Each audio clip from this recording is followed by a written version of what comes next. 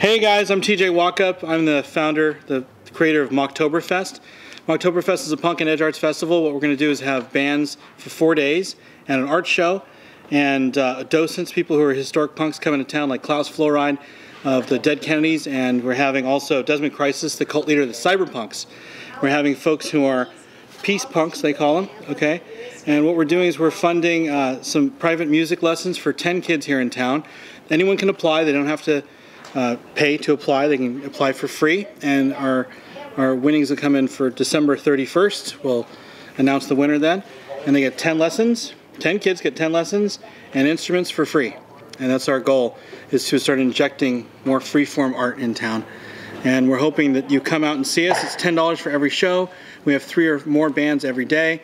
We have a film. We have Anarchism in America. We have Afro Punk, both really edgy, cultural, cool films. Intellectual films, very fun to watch as well. Um, and this is our zombie apocalypse vehicle. So we're asking people, since this is the right time, it's a Halloween party as well. It's also my wife and I's anniversary party on the 26th at the Empress. Um, the dates are 19th at the Bay Terrace Theater at 51 Daniels, and then we have a break, and we do the 25th at 51 Daniels, and then we go to the Empress on the 26th, and then we go back to the Bay Terrace Theater on the 27th.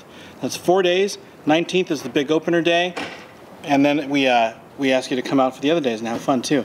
So it's all ages, no drugs, no alcohol, no racism, no sexism, no violence, just a lot of fun. Good, not so clean fun, I guess. Hope to see you at Mocktoberfest.